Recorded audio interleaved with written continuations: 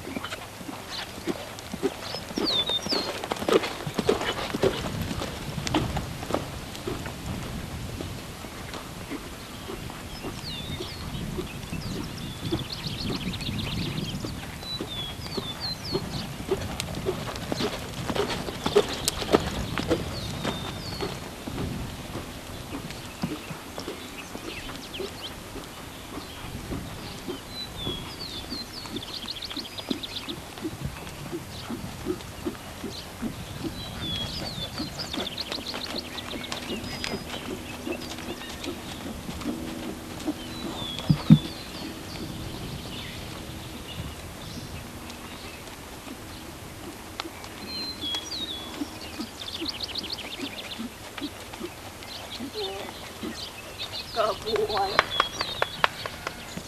That was pretty good. That was the best he's done.